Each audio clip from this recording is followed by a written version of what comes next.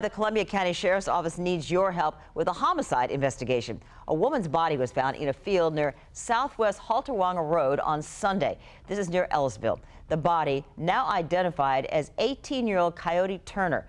If anybody has information that can help investigators, you are asked to call the Columbia County Sheriff's Office.